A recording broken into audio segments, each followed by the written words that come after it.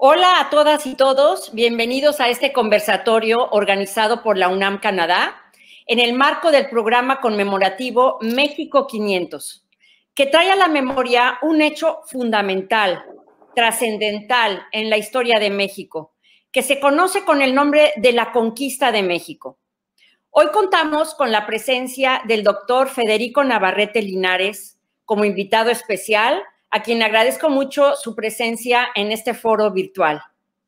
El doctor Navarrete es investigador de larga y reconocida trayectoria académica del Instituto de Investigaciones Históricas de la UNAM, autor de varios libros, entre los que podemos mencionar México Racista, una denuncia, eh, publicado por Random House en 2016, ¿Quién conquistó México? también de Random House en 2019, y otros, incluyendo novela histórica. Son estos libros que he mencionado los que ahora van a ser el, eje central o el tema de nuestro conversatorio. Es un honor tenerte hoy, Federico, con nosotros para dialogar particularmente sobre dos, eh, dos de estos libros que he mencionado, los, unos de los más reconocidos que tienes. Muchísimas gracias por estar con nosotros. Es un gusto estar aquí, Alicia. Agradezco mucho tu invitación y sobre todo, pues agradezco la oportunidad de, conversar sobre estos temas que son desde luego temas polémicos, son temas sobre los que hay muchos puntos de vista, pero creo que la conversación razonable, informada y respetuosa, pues es la clave para poder conmemorar y entender realmente lo que fue nuestro pasado y lo que es nuestro presente. Así es, en tus obras invitas a un diálogo académico en torno a varias cuestiones, en torno a este suceso histórico tan complejo como es aquello que se ha llamado durante siglos la conquista de México. Y tú propones buscar otras verdades, otras posibles respuestas, sugieres repensar y reescribir nuestra historia de los últimos 500 años, nos dices con razón que los sucesos de nuestro pasado no son pasado, son presente y yo te haría una pregunta. Estas obras, ¿qué significan para ti? ¿Qué te impulsó a escribirlas? ¿Qué querías demostrar a tus lectores con ellas? Bueno, creo que ya desde, eh, yo desde, desde que empecé mi carrera como historiador, eh, ya hace tres décadas, el, siempre he considerado que la, que la difusión, que, la, que el presentar nuestras obras y nuestros resultados como historiadores a un público lo más amplio posible es muy importante porque yo creo que más allá de que la historia académica y, que se pretende científica, pues genera verdades sobre el pasado que tienen un valor incuestionable, el hecho es que una de las funciones esenciales de la historia en, en México, en particular, que es un país muy obsesionado por la historia, pero en todo el mundo, es justamente pues ayudar a las sociedades a reflexionar sobre su pasado y su presente, sobre su identidad y sobre sus formas de ser.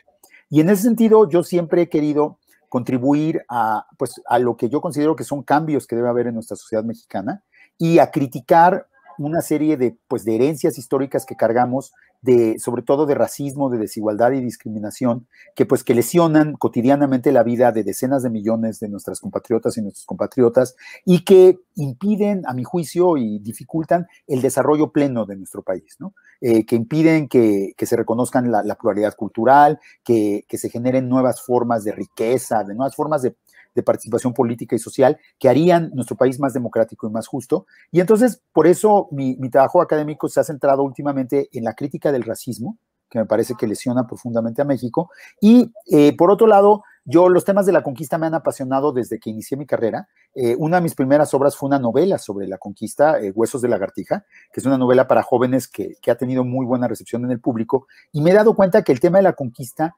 es un tema que apasiona a la gente es un tema que, lo vemos como si fuera algo muy íntimo. Hablamos de Hernán Cortés como nuestro padre, en algunos casos, de la Malinche como nuestra madre, o sea, parientes directos. Cuauhtémoc es como si fuera un tío, no es un personaje lejano, sino es un personaje muy, muy, muy cercano. Y, en general, la conquista es presente en nuestra sociedad, ¿no? La, todo el tiempo nos estamos refiriendo a ella. Y entonces me parecía que el quinto centenario de, de estos acontecimientos, pues era una muy buena ocasión para plantear nuevas maneras de, ver lo que pasó hace 500 años que nos ayuden a pensar nuevas maneras de ser mexicanos y mexicanas en el siglo XXI. Muchas gracias. Es muy interesante lo que has eh, expresado. ¿En, quién conquistó México? Empiezas con una sugerente pregunta, lector, que es precisamente esta. O sea, desde que vemos la portada del libro, uno dice, ah, caray, pues ¿cómo que quién conquistó México? Si todos lo sabemos, ¿no? Pero tú das una respuesta desde una perspectiva opuesta a la tradicional. respondes eh, que respondes más adelante, después de plantear el argumento, eh, que los indígenas conquistadores fueron quienes conquistaron México. La Malinche eh, es una figura central en este libro. Y también dices, pero también fueron los españoles, ¿no? tu trabajo pretende resaltar el papel determinante que jugaron los indígenas conquistadores en la guerra de 1519-1521 y luego su participación central también en la imposición y consolidación del dominio español sobre Mesoamérica en la larga campaña de conquistas que se prolongó hasta por lo menos 1545. Mencionas también que Cortés, eh, casi estoy citando más o menos eh, lo que tú expones, Cortés y los suyos eran un grupo marginal y provinciano. Y también dices que se ha exagerado eh, su poderío militar. Visto así, parece que concedes un papel, entre comillas, secundario a los españoles en la conquista, pero aceptas que los españoles se impusieron. ¿Cómo se construye, Federico, entonces ese proceso? Esa realmente que la, pregunta que me planteas, Alicia, es realmente una pregunta que me han planteado muchos lectores y muchas lectoras, y me parece una pregunta clave, ¿no? Porque de alguna manera, el, digamos que mi, mi intención, mi interpretación de la conquista de alguna manera pone al revés las interpretaciones tradicionales. Eh, y bueno, obviamente lo estoy haciendo en una, desde un discurso pues que, busca romper con los consensos y, quizá, digamos, me voy a un extremo para, para, presentar el argumento, ¿no?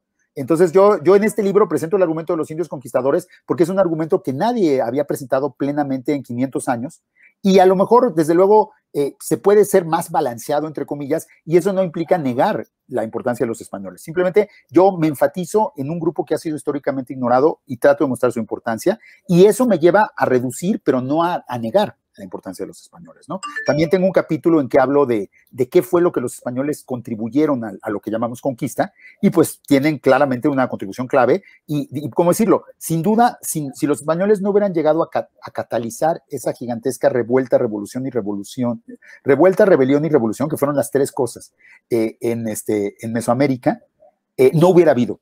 O sea, los españoles son el sine qua non de todo, pero eso no significa que hayan hecho todo, ¿no? O sea, hay, que, hay que distinguir eso, ¿no? Y, la gran pregunta es, si, si, los indígenas conquistadores fueron tan importantes, ¿por qué el resultado de la conquista no fue que ellos tomaran el poder, ¿no? Y es una pregunta perfectamente válida, ¿no? Y creo que las, las, explicaciones son varias. Eh, en primer lugar, el, este, yo creo que los indígenas conquistadores no tenían una noción de un poder único, porque en Mesoamérica no había la noción de poder vertical único que sí había en la tradición mediterránea y occidental, en que había pues la idea de un Dios único, Dios Padre, y de, alguna manera el rey en la tierra era como Dios sobre sus reinos. Era esta figura de autoridad única que tenía un poder casi absoluto, que de hecho pues, dependía de Dios, entonces era de alguna manera el representante de Dios o hacía la labor de Dios en la tierra, y, y una visión muy jerárquica de la sociedad en que todo mundo quedaba subordinado a ese poder único. En Mesoamérica las, las nociones de poder eran plurales, y todos los poderes siempre eran compartidos. Aunque hablamos de imperio azteca, eso es una mentira. Los mexicas eran parte de una triple alianza con Texcoco y con Tacuba, y no eran los únicos que ejercían el poder en, los dominios de esa triple alianza. Y además, cada altepetl, cada ciudad-estado tenía su propio gobierno y su propia autonomía. Y entonces, una de las cosas que sucede sucedió después de la conquista es que muy probablemente los indígenas tenían una expectativa, los, los indígenas conquistadores, los tlaxcaltecas, los texcocanos, tendrían una expectativa de que, de que iba a crearse un régimen parecido a lo que ellos conocían, que iba a ser una especie de triple alianza. Muy probablemente pensaban que iba a ser Tlaxcala, Texcoco y los españoles en México, por así decirlo, una triple alianza México-Español, este, eh, Tlaxcala y Texcoco, y que las cosas serían como habían sido siempre en Mesoamérica. Texcoco, por cierto, que es uno de los principales eh, triunfadores contra, sobre los mexicas y aliados de los españoles, 80 años antes era parte de una triple alianza anterior con Azcapotzalco y, este, y Colhuacan, y traicionó a, Azcapotzalco para unirse a los mexicas y fundar una nueva triple alianza. Cuando llegan los españoles, traicionan a los mexicas para unirse con los españoles y pues yo creo que lo lógico es que pensaban que iban a ser una nueva triple alianza. Entonces ellos tenían unas expectativas de lo que iba a suceder. Pero por otro lado, los españoles no tenían esas expectativas y tenían esta idea de poder vertical. Y entonces lo que sucede en los primeros 20, 30 años es un conflicto en Mesoamérica eh, sobre, entre, entre dos concepciones diferentes del poder. Y se acaba por imponer la concepción europea española del poder, uno, porque los indígenas se van debilitando por una serie de factores, dos, porque, porque el aparato burocrático del, del imperio español más que, no, no, no, tanto los conquistadores individuales, los expedicionarios cortés, sino ya el aparato burocrático, los funcionarios, las audiencias, las leyes, las, los tribunales, todo, todo ese aparato del imperio español era muy poderoso y, los, y era algo que, frente a lo cual los indígenas no tenían eh, pues manera de defenderse de alguna manera. Y de hecho, ellos empiezan a jugar las reglas del imperio español y antes de darse cuenta, pues ya están sometidos al imperio español. Entonces creo que ahí hay una diferencia entre las expectativas de los indígenas y sus diferentes concepciones de poder. Y por otro lado, otro factor fundamental es que yo estoy convencido, y tenemos muchos indicios, de que cuando los indígenas se aliaron a Cortés, entendían esas alianzas a la manera mesoamericana como pactos entre, entre iguales. No necesariamente iguales, iguales, sino entre, entre grupos que podría haber uno más poderoso, uno más menos poderoso, pero no había una jerarquía absoluta en que uno quedara por encima del otro. Entonces ellos estaban haciendo alianzas horizontales, por así llamarlo, mientras que los españoles siempre percibieron sus alianzas con los indígenas como una relación vertical. O sea, cuando los indígenas decían, quiero ser tu amigo, los españoles oían, quiero ser tu súbdito. Cuando los españoles, los indígenas decían, te apoyo para que logremos un objetivo este, compartido, los españoles entendían, te obedezco porque eres mi señor y mi señor es el rey de España. Por, por su concepción vertical de poder. Y por otro lado, por un prejuicio que tenían los españoles de que los indígenas eran inferiores a ellos, que era un prejuicio que estaba muy generalizado. Los indígenas eran paganos, no tenían una verdadera religión, los indígenas eran, eran caníbales, eran eh, sodomitas, se, les acusaba mucho de homosexualidad en esa época y eso justificaba las peores atrocidades en su contra. Este, y, entonces los, los españoles no estaban dispuestos a darles a los indígenas el tratamiento de iguales que los indígenas muy probablemente sí esperaban. Y, en, eso sí, todos los españoles estaban de acuerdo. Entonces, cada español que llegaba al, Nuevo Mundo, a, Nueva España, trataba a los españoles como superiores y a los indígenas como inferiores, y eso con el tiempo fue creando un régimen colonial, un régimen en que existe una élite extranjera, bueno, o, llegada de lejos, que son los españoles y los criollos, que dominan a la población local eh, por una cuestión de separación racial y de supuesta inferioridad de la población local. Y el aparato colonial, pues es un aparato hecho para mantener esa dominación desigual. Pero digamos que ese no era, mi, gran propuesta sería que ese no era un resultado inevitable de la conquista, que la conquista pudo haber producido un régimen mixto, sino que el proceso, pero que en cambio, el proceso de imposición de este dominio colonial que vino después de la conquista y que no hubiera podido suceder sin la conquista, sin embargo, o sea, sin duda, o sea, la conquista permitió que sucediera, pero no necesariamente era el único resultado inevitable de la conquista. Sucedió por otros factores paralelos a la conquista, pero que no son solo de la conquista. Bueno, hay, muchas cosas aquí que, que ha señalado. Solo siguiendo la ruta todavía mm, más allá sobre los conquistadores. Tú señalas que estos practicaron la violencia extrema, desmedida, son palabras que, he recogido de, tu libro, los conquistadores hicieron uso espectacular de la, de la misma, de la violencia. Hablas incluso de terrorismo religioso para referir lo que tradicionalmente se ha llamado como conquista espiritual. Eh, y por el contrario, afirmas que los indígenas creaban, como ya muy bien lo has explicado, bases sociales estables entre los grupos, que llevaban a cabo la guerra con códigos, preceptos, reglas y ciertos usos y costumbres, ¿no? Eh, ¿Crees que este juicio, pregunto, idealiza a los indígenas sobre los conquistadores crueles y revitaliza de alguna manera o reafirma los argumentos de Bartolomé de las Casas, que por otro lado dieron elementos conceptuales que originaron lo que se llama la leyenda negra antiespañola? El, eh, creo, que, eh, creo que yo quiero hacer una crítica de la violencia que fue parte de la conquista, sin por eso demonizar eh, a ninguno de los grupos eh, particulares, sino tratando de explicar las motivaciones religiosas. Cuando yo hablo de terrorismo religioso, no me, no me refiero en ningún momento a la labor de los evangelizadores y a lo que hemos llamado la conquista espiritual, a la, a la labor de los frailes que llegaron después de la conquista. Y también yo creo que más bien habría que separar también las cosas. O sea, generalmente solemos de alguna manera en nuestra visión de la conquista solemos establecer una equivalencia directa entre conquista militar y conquista espiritual, entre la labor de Cortés y los otros expedicionarios y la labor que realizaron después los franciscanos, los dominicos, todos los frailes que llegaron a cristianizar a los indígenas. Y, no, tampoco es eso, tampoco hay una vinculación exactamente directa entre los dos. Son dos procesos diferentes y, no, y hay que dejarlos de ver como un solo proceso. Lo que sucede es que la conquista espiritual ha sido usada muchas veces para justificar la conquista militar, desde el siglo XVI, de hecho, y, y, por eso las tendemos a confundir, pero yo creo que hay que separarlas. Así como separamos la constitución del régimen colonial de la conquista, habría que eh, separar la cristianización de los indígenas de la conquista. Yo cuando hablo de terrorismo religioso me refiero a las matanzas de Cholula y de Templo Mayor en particular, que, fueron, actos de la conquista militar y que claramente obedecen a una serie de prácticas que venían de la guerra contra los musulmanes en la península. O sea, cuando, cuando los españoles tomaban una plaza musulmana, una de las primeras cosas que hacían era eh, deshonrar, destruir y desacralizar las mezquitas. Y posteriormente generalmente construían en su lugar, o a veces en el mismo edificio ponían un templo católico, ¿no? Eso sucede, por ejemplo, con la mezquita de Córdoba a la fecha, ¿no? Que es una increíble mezquita en Mudéjar y tiene en el centro una catedral del siglo XVI, un edificio maravilloso, ¿no? este, entonces, había una práctica de violencia contra la religión enemiga que se, trajo, que se, que se tradujo a América, y yo creo que claramente, eh, en el caso, o sea, yo no creo que los españoles ejercieran la violencia de una manera brutal e irracional. Eran hombres inteligentes, eran políticos, pero que sí utilizaban la violencia como una herramienta clave. Y por lo tanto la utilizaban para conseguir fines específicos en momentos específicos. Y yo sí creo que, por ejemplo, cuando Cortés se entera de que Cholula es el principal centro de peregrinación de la religión mesoamericana, que el dios Quetzalcoatl de Cholula es considerado uno de los dioses más poderosos del,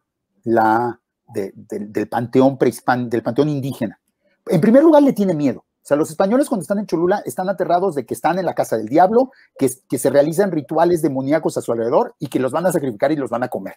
Entonces, ellos le tienen miedo a esa religión.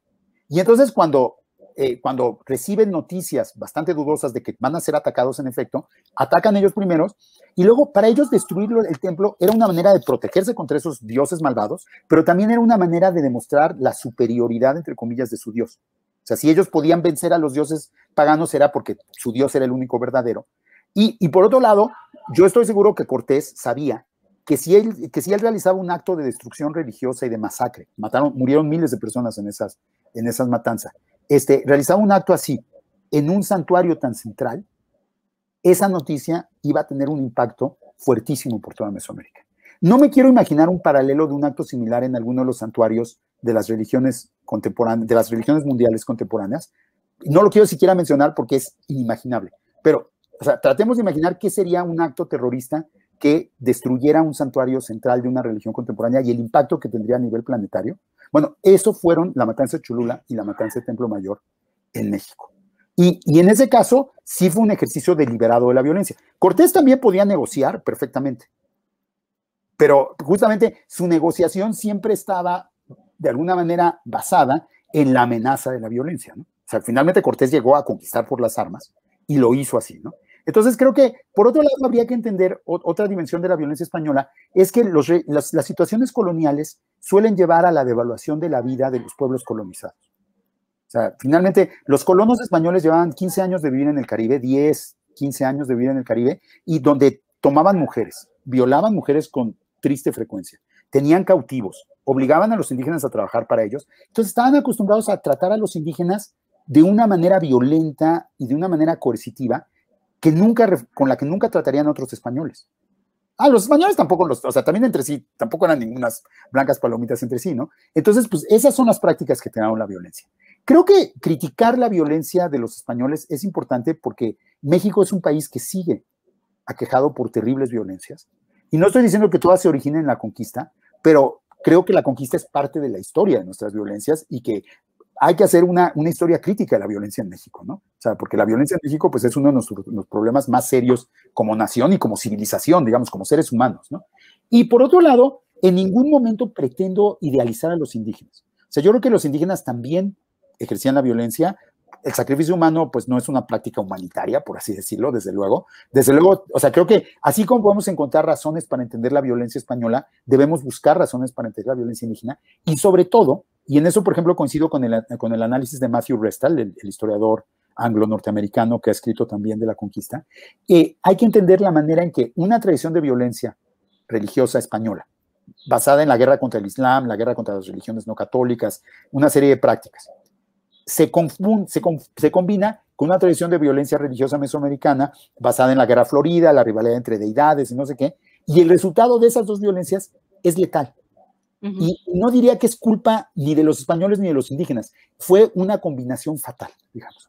Y el resultado fue una guerra, la, destrucción de México Tenochtitlan a mediados de 1521, en el sitio que inicia en mayo y que termina en agosto de 1521, sí fue una atrocidad, o sea, sí fue una guerra terrible provocó la muerte de cientos de miles de personas, provocó la esclavización de varios, de decenas de miles, si no es que centenares de miles, provocó la destrucción de una ciudad, seguramente provocó hambrunas, eh, desplazamientos de personas a nivel masivo, y pues creo que pues es una herencia que no podemos negar. Y no se trata de apuntar dedos de quién fue el culpable, se trata de entender cómo es que en nuestro país trágicamente suceden este tipo de cosas. Sucedieron hace 500 años y pues no han dejado de suceder. Sí, bueno, claro, eh, la, violencia, si nosotros como historiadores nos vamos hacia atrás, bueno, pues llegamos a Caín y Abel, ¿no? Este, la violencia es algo inherente casi al, ser humano, tristemente, y si tú ves eh, las historias de violencia que hay en el mundo antiguo también, por ejemplo, Roma, Alejandro el Magno, este, los mongoles, eh, y es, es es una parte que no es fácil de explicar, pero existe durante toda la historia, ¿no? Entonces, claro, centrarnos en la parte de la violencia en, nuestro entorno eh, de la historia nuestra, pues en Mesoamérica, en lo que pasó aquí, pues sí, se puede hablar de, de, una crueldad y una violencia extremas. Hay gente que ha utilizado incluso el término de genocidio, ¿no? Es eh, sin duda un tema, un tema bastante eh, complejo, bastante delicado y en, muchos sentidos muy doloroso para, la historia de nuestra nación, ¿no? Es algo que se, que se carga y ya volveré yo a esto cuando más adelante haga yo algunas otras preguntas. Eh, pero quisiera hacer un alto ahora en, en, lo que tú mismo has dicho, que hay muchos prejuicios, hay muchos mitos, estamos inmersos en ellos. Por ejemplo, eh, la misma superioridad europea, ¿no? Es un mito, ciertamente, falso a todas luces en la realidad, pero es un hecho que la cultura occidental es profundamente discriminatoria. Eso me lleva a, otro, a, otros de tus argumentos en el libro de México Racista, ¿no? Un tema sobresaliente en las obras que has escrito es, por ejemplo, esto del mestizaje, un concepto rodeado de mitos, y tú propones dejar de ponderar este concepto y sustituirlo por el de vínculos de intercambio recíproco. Hablemos un poco del mestizaje, que es un tema importantísimo e interesantísimo, pero además es central en tu obra. Mencionas que en el siglo XIX hubo una política de Estado basada en la búsqueda de la integración nacional con base en la noción de que a raíz de la conquista había surgido una nueva raza, que era la raza mestiza que identificaba a todos los mexicanos, al menos culturalmente. Cuando en el siglo XXI derribamos este mito, ¿no te parece que corremos el peligro de una mayor división entre los diferentes grupos que componen este país? O bien una desintegración o más aún un rechazo a los dos componentes que nos conforman, que son el indígena y el europeo? Somos una sociedad plural y abierta, o una, eh, bueno, ni tan abierta, somos una sociedad plural y diversa, mejor dicho, como adviertes en tus obras. ¿Cómo puedes resolver la sociedad eh, la cuestión de la unidad nacional, Federico? ¿Qué nos aglutina como nación? Y hay un montón de cosas que te, que te puse en la mesa, ¿no? Bueno, eh, en primer lugar, yo lo que, lo que señalaría es que, bueno, el, el problema de, generalmente en la interpretación tradicional del mestizaje eh, y, de, la, historia nacional, que fue construida en el siglo XIX, no es del periodo colonial estas ideas, sino son ya del México independiente, tres años después de la llamada conquista, se establece una relación causal directa entre conquista y mestizaje. O sea, inclusive en, este, en, las frases de los historiadores del siglo XIX se dice, o sea, como no fue, no fue o sea, que, que, fue el nacimiento de una nueva raza, la conquista y todo esto.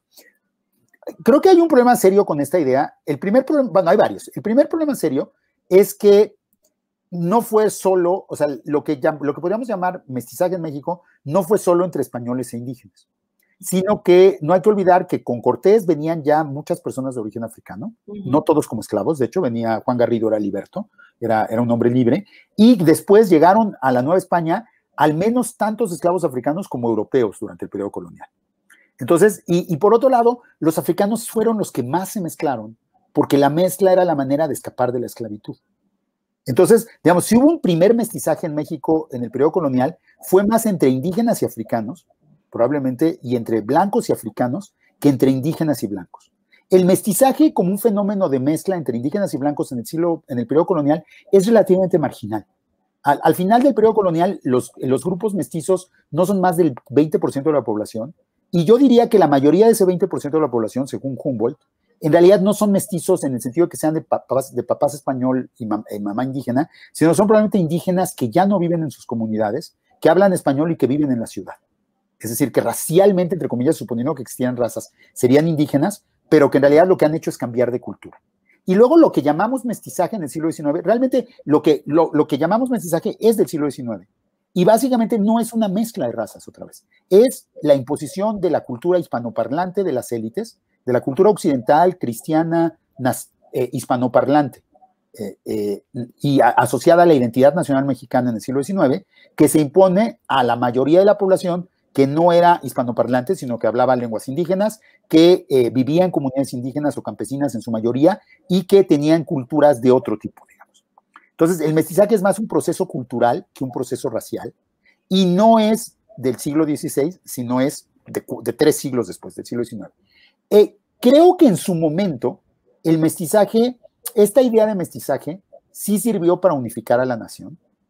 En un momento en que México estaba siendo invadido por, pues, por Estados Unidos, por Francia, por una serie de, potencias, se crearon estos grandes ejércitos en que participaban lo mismo indígenas que criollos, lo mismo mulatos que mestizos, lo mismo gente de la ciudad que gente del campo. Grandes ejércitos, los liberales eran un ejército multi, una coalición multiétnica, muy parecida, de hecho, al ejército que conquistó México Tenochtitlan.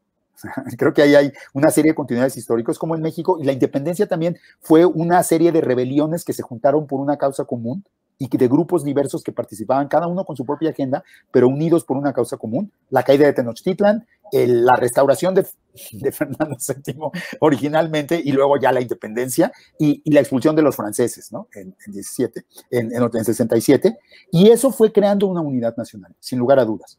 Ahora bien, el problema es que eso era necesario en el siglo XIX por una nación amenazada por invasiones extranjeras. Ya no es tan necesario en el siglo XXI con una nación plural, eh, globalizada, abierta al mundo. Ya no tenemos que defendernos contra enemigos que nos van a impedir invadir. Entonces, ese sería un punto, ¿no? Ya no tenemos que esa unidad que, que se preconizaba como una cosa de supervivencia, ya no lo es tanto en el siglo XXI, yo creo. Y por otro lado, el problema de esa unidad es que no creó una verdadera unidad. Si hubiera creado una verdadera unidad y los mexicanos fuéramos de veras todos mestizos, pues no habría el terrible racismo que hay en nuestra sociedad. Si hubiera creado una verdadera unidad y hubiera realmente hecho desaparecer las diferencias que existían entre los diferentes sectores de la población, no habría la discriminación que sigue habiendo contra los indígenas, no habría la negación de la existencia de los afroamericanos. A los afromexicanos en México básicamente son invisibles, es como si no existieran. No habría también, y yo creo que el privilegio que tienen ciertos sectores vinculados con la blanquitud, vinculados con la cultura occidental, vinculados con la, eh, con la modernidad, así llamarlos, sería menos, eh, menos brutal, por así llamarlo. O sea, digamos que, por ejemplo, la desigualdad de nuestro país está muy marcada por estas diferencias racializadas.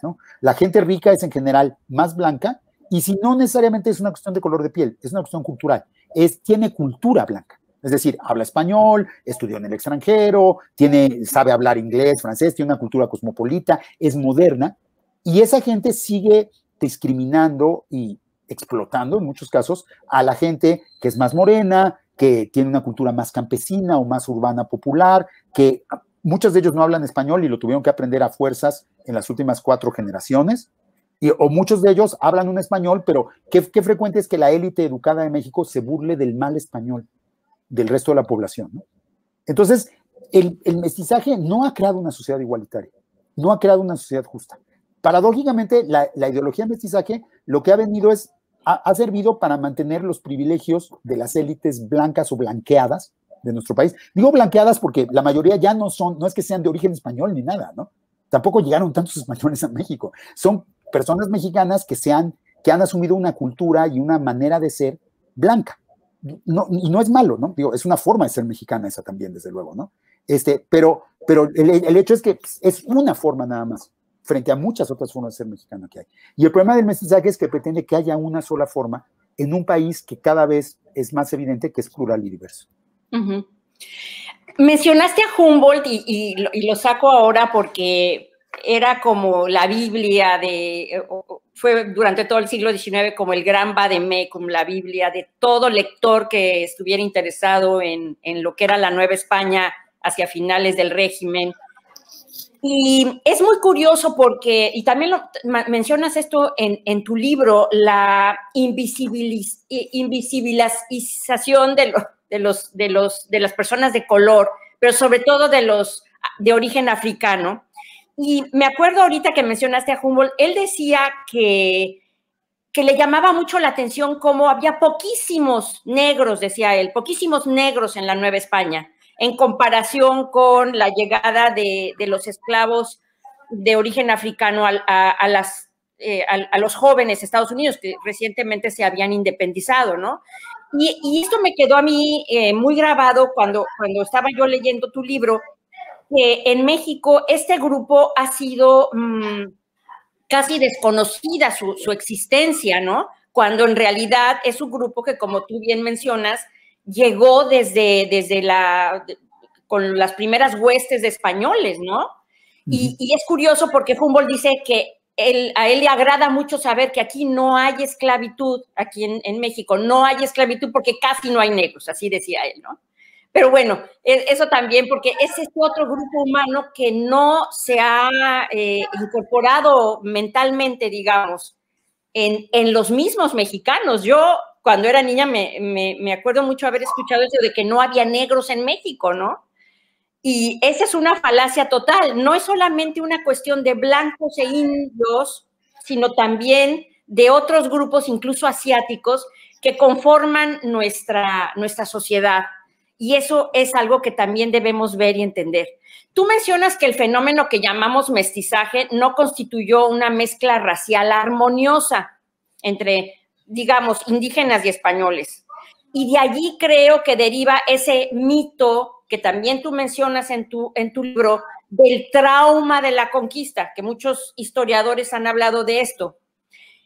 ¿No es esto contradictorio? Si no fue armoniosa, entonces fue violenta, luego entonces causó realmente un trauma.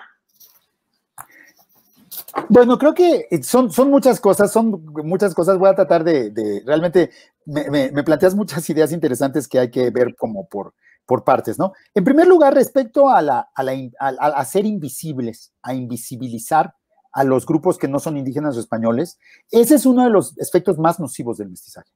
Hay que señalar, si queremos hablar de la presencia, o sea, Humboldt decía, no hay negros en México, porque en su visión negro era igual a esclavo. Y en efecto, ya para finales del periodo colonial, la esclavitud, que sí fue bastante importante en el siglo XVI, era importante a finales del periodo colonial solo en ciertas regiones, en ciertos enclaves particulares, ¿no? En el Bajío había un cierto número de esclavos negros vinculados a factorías, en, la, en Veracruz, en Guerrero, en las zonas costeras, ahí, ahí sí había bastantes. Pero la mayoría de las personas de origen africano ya para el siglo XVIII no eran esclavos, eran hombres libres y mujeres libres, y eran, y automáticamente se les decía mulatos. Porque digamos que en, el régimen colonial el negro era un esclavo. Y un negro, o sea, una persona que no importa el color de la piel, de origen africano, que no era esclavo, ya automáticamente no era considerado un negro porque ya no era el estatus jurídico de la esclavitud, sino se le hablaba de él como mulato de otra manera. Y los mulatos eran, por cierto, un sector muy importante de la economía novohispana. Eran mulatos, pero bueno, no, no, no tiene que ver con su nombre, pero paradójicamente eran los arrieros. Estaban muy bien cargados del comercio pequeño a nivel local en todas las regiones de la Nueva España. O sea, justamente como no tenían, como no eran miembros de una comunidad indígena, ni tampoco eran blancos que podían vivir en ciudades, pues vivían en estos espacios marginales que eran fundamentales para el funcionamiento de la vida nueva hispana. ¿no? Vicente Guerrero era un mulato. Bueno, este, José María Morelos y Vicente Guerrero, los dos, eran mulatos. Y eso era algo que, por cierto, les recordaban a tiro por viaje sus enemigos políticos. O sea, Lucas Alamán no dejaba de hablar de Vicente Guerrero como ese negro, ese, y, atribuía las diferencias políticas entre Vicente Guerrero, que era un liberal radical, y Lucas Alamán, que era un conservador radical, se racializaba. O sea, Lucas Alamán criticaba a, Guerrero por liberal y por negro. Y finalmente el destino de, de Guerrero, expresidente fusilado, tiene mucho que ver con el hecho de que no era blanco, de que se le trató de una manera que probablemente no se lo hubiera tratado si hubiera sido un miembro de la élite criolla, porque siempre se le vio como un intruso porque no era blanco. Entonces creo que eso es una muestra de, lo, de, cómo funcionan estas lógicas en nuestro país. Y luego, por otro lado, lo que sucedió después de la, de la independencia es que la mayoría de las personas que podrían ser consideradas negros dejaron de presentarse como negros porque no les convenía y se incorporaron a la plebe urbana, a la, a la sociedad novohispana, a la sociedad mexicana en forma, y se convirtieron en mestizos. Es decir, eh, la mayoría de, los, de la gente que se llama mestizo en México, nos llamamos mestizos porque realmente no sabemos bien de dónde venimos. No porque necesariamente seamos producto de una mezcla racial, probablemente sí, pero eso, pues las razas no tienen una consecuencia ni espiritual ni humana, entonces la mezcla racial no produce cambios en la manera de pensar ni en, simplemente en, el color de la piel, digamos. Pero además el intercambio racial es también una constante en la historia. todo mundo tiene mezcla racial, eso es un hecho, ¿no? Y, los mexicanos no más que otros lados, ¿no? Solo que en México lo hemos convertido en una ideología, ¿no? Entonces, pues, se, se, integran a los mestizos y desaparecen, ¿no? Entonces, creo que esa es una de las lógicas del mestizaje, cómo va integrando las diferencias y las va borrando. Pero por otro lado, creo que el, este, el problema de mi crítica, mi crítica no es a las prácticas que en la sociedad mexicana han permitido los intercambios entre grupos, han permitido de alguna manera, pues, borrar las fronteras que a veces existen, no borrarlas, pero al menos disminuirlas. Eso me parece muy positivo. La mezcla y el intercambio me parecen muy buenas. El problema es la manera en que luego las interpretamos, la ideología política que construimos a partir de ello. Y hay que distinguir una cosa. Una cosa son los procesos sociales y otra cosa es cómo nos los explicamos. Obviamente las explicaciones tienen que reflejar los procesos sociales, pero también pues tienen, son parte de ideologías políticas, tienen otras funciones también. Y la ideología del mestizaje es la que es problemática porque hace una definición muy, muy desigual entre la parte blanca que se asocia con ser hombre, con el varón conquistador, que es poderoso, que es violento, que, que inclusive se apodera de las mujeres indígenas, y las mujeres indígenas que son indefensas, que son pasivas, que están en una posición, entre comillas, de inferioridad. Y esto en la retórica del mestizaje siempre queda clarísimo eso. El mestizaje mexicano nunca se trató de que los blancos se hicieran más indios. Siempre se trató de que los indios se hicieran más blancos. Porque siempre se supuso que el, polo masculino, eh, eh, el eh, dominante blanco, debía imperar sobre el polo femenino dominado indígena. Y esta es una ideología patriarcal del siglo XIX y del siglo XX. Todos los nacionalismos modernos son ideologías patriarcales, ¿no? O sea, todas las representaciones de los países modernos están asociadas a una idea de hombres fuertes, viriles, conquistadores, progresistas. En México esa idea se asocia con, lo, con el pueblo español y, lo, y, lo, contraparte es, es las mujeres indígenas. Creo que esta visión machista del mestizaje es clarísima, por ejemplo, en la obra de Octavio Paz. O sea, es, es transparente Octavio Paz tiene unas líneas de una misoginia que realmente a mí me estremecen cada vez que las leo, y es una de las fuentes del, feminicidio y de la terrible violencia que se ejerce contra nuestras mujeres, contra las mujeres mexicanas en, el presente. O sea, tiene consecuencias muy serias en las relaciones de género, en cada familia y en la sociedad en general. Entonces creo que como, como ideología deberíamos revisarla, al menos por ese efecto particular, que es claramente nocivo. ¿no? Pero, y por otro lado, la idea de trauma de la conquista viene por ahí. Viene, con la, viene por una idea que es falsa, que justamente mi idea de los indios conquistadores creo que va en contra del trauma de la conquista. Y de hecho, yo diría que la solución al trauma de la conquista es reconocer a los indios conquistadores, de alguna manera. Este, el, porque, porque en el siglo XIX, lo, lo que hace la historiografía, los historiadores nacionalistas mexicanos, es construir una visión de la conquista muy diferente a la que se tenía en el periodo colonial. En el periodo colonial, los propios españoles reconocían la participación de los indígenas en la conquista. La propia corona española le dio reconocimiento a los tlaxcaltecas, a los texcocanos, les dio privilegios, los reconoció como conquistadores. La idea de que los españoles conquistaron México y la idea de que los españoles nos conquistaron, que es una frase que se repite hasta el siglo XXI en México y de la que viene el trauma, ¿cómo no vamos a estar traumados si nos conquistaron los españoles? Esa idea no es del siglo XVI, no es del siglo XVII, no es del siglo XVIII, no es del periodo colonial, es una idea del siglo XIX. Entonces lo que se construye es esta nueva interpretación de la conquista, en que la conquista es el triunfo de los españoles sobre todos los indígenas. Y entonces, para lo, y, eso, el propio, me acuerdo en, una, en un artículo que publicaste en Noticonquista sobre la, la historiografía norteamericana de la conquista, mencionabas como el propio Prescott, que es el autor de la gran historia de la conquista del siglo XIX, dice que la hazaña de Cortés es increíble, que parece una fábula, que es asunto de leyendas. Pues sí, porque es falsa, porque no es cierto que Cortés solito y sus 500 hombres hayan conquistado. Había 100.000 soldados indígenas por cada mil soldados españoles. Pero entonces en el siglo XIX lo que se construye es una fábula, que es esta fábula de que los españoles solos lo hicieron todo. Y esa fábula, pues obviamente tiene mucho que ver con el supremacismo blanco de la época. De hecho, este, creo que tú lo muestras bastante claro. De alguna manera, Prescott ve a los norteamericanos que invaden Estados, eh, México en 1847. No sé si Prescott directamente, pero muchos norteamericanos consideran que ellos al invadir México en 47 están haciendo lo mismo que Cortés. Son los nuevos corteses. Y el himno de los Marines hasta la fecha habla de The Halls of Montezuma, ¿no? que los Marines han llegado hasta el Palacio de Moctezuma. Y entonces, eso ya es una racialización de la conquista en función de las ideas de supremacía blanca del siglo XIX, que no tiene nada que ver con el siglo XVI. Es más, los españoles del siglo XVI no se definían como blancos, se definían como cristianos, como cristianos viejos tal vez, pero no como blancos, ¿no? Esa idea racializada de la conquista es un invento muy tardío que tampoco eran tan blancos, porque hay una mezcla ya en la península ibérica importantísima. Exactamente, pero en la nueva visión de la conquista son los representantes del mundo occidental, son hombres blancos, ¿no?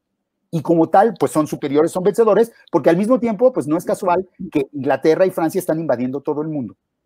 O sea, digamos, e, esta visión de la conquista del siglo XIX también tiene que ver con el imperialismo eh, moderno del siglo XIX y tiene que ver con lo que está pasando en los países de América independiente, en que las élites de origen europeo o con cultura europea están imponiendo su poder sobre indígenas, negros y otros grupos que existen. En Estados Unidos, en Canadá, en Argentina, en Chile, en México, en Brasil, en toda América está pasando eso. Entonces, esta ideología de la conquista sirve para esta guerra en el siglo XIX, no solo en el siglo XVI. Y entonces, de ahí surge la idea del trauma, ¿no?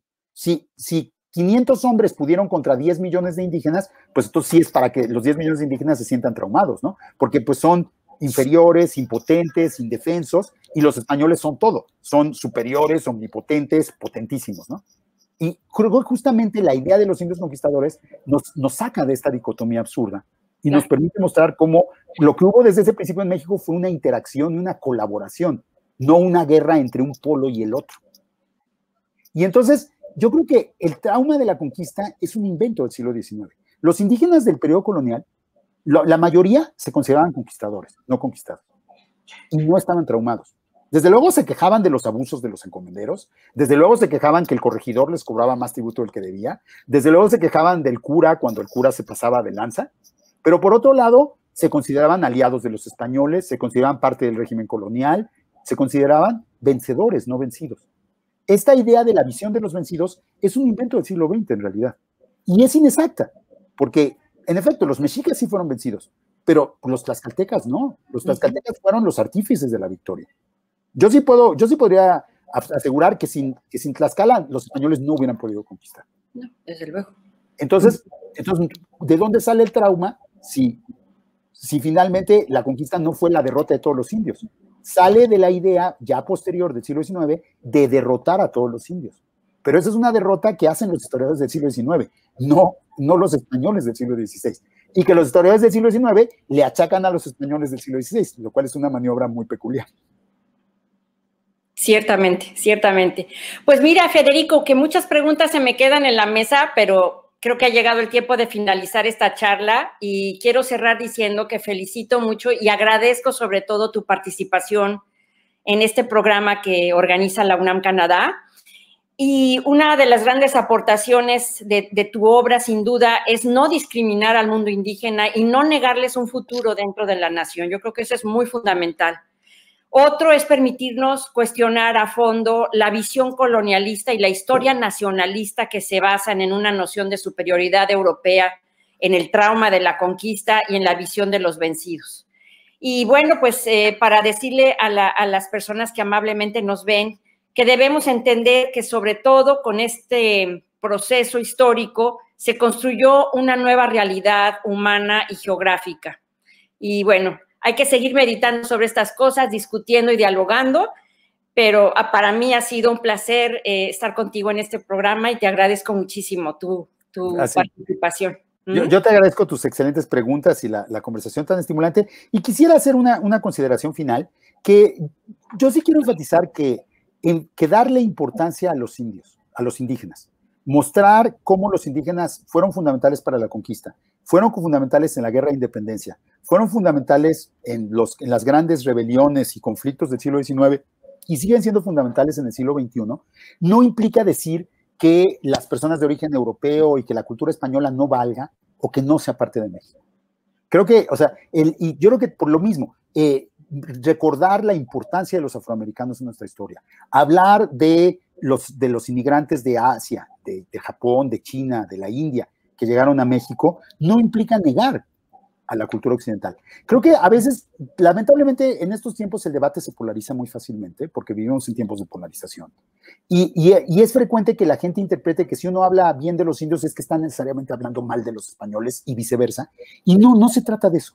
Yo creo que se trata de, de entender cómo finalmente México, y bueno, primero la Nueva España y luego ese país independiente que llamamos México, no es producto solo de un solo grupo, ni los indígenas ni los españoles, y porque, porque también estaban los afroamericanos, todos los otros grupos, y que más bien es, es una construcción hecha por estos diferentes grupos, con mucha violencia, sí, lamentablemente, es, algo, es una deuda histórica que tenemos, eh, entender esa violencia, y yo creo que diría sobre todo evitarla en el futuro, con mucha discriminación y mucho racismo, pero también con un enriquecimiento mutuo. O sea, las culturas indígenas cambiaron radicalmente a resultados de, a de la conquista y pues, a, aprendieron muchas cosas de los españoles sin duda. Yo creo que también la cultura occidental mexicana no es lo mismo que las otras culturas occidentales porque tiene fuertes componentes de las tradiciones indígenas, de las tradiciones afro, de las tradiciones asiáticas. Entonces, creo que el, mi, mi apuesta es a dejar atrás estos prejuicios racistas, estas ideas de trauma, para poder realmente en el siglo XXI por fin reconocer la pluralidad de nuestro país e imaginarnos reconstruir esa historia de pluralidad que está ahí, pero que ha sido acallada, y con toda mi esperanza, construir un país que sea más inclusivo, que sea más justo y que reconozca su pluralidad de una manera más plena. Yo creo que todos estamos en esa misma vía de, de esperanza, de construir un futuro mejor, un país mejor, y hay que empezar por asumir nuestra historia, aceptar que lo que pasó, pasó, y qué hacemos con ello, pero yo creo que de lo que qué hacemos con ello, mucho tiene que ver con comprenderlo, entenderlo y entender nuestro propio presente, para poder actuar y para poder hacer un mejor futuro. Entonces, este, creo que para eso nos sirve la historia. ¿Mm? Sí, la historia no es solo sobre el pasado, también es sobre el presente y sobre el futuro. Y creo que justamente este tipo de conmemoraciones nos lo dejan muy claro. Y pues son los momentos más emocionantes para ser historiador. Así es. Y no, no nos falta trabajo, ¿eh? Cada generación reescribe su historia y qué bueno. Muchísimas gracias, Federico, ¿eh? con todo cariño y, y, gratitud. Fue un gusto, Alicia, y qué, qué agradable conversación. Espero que al público también le interesen nuestras palabras.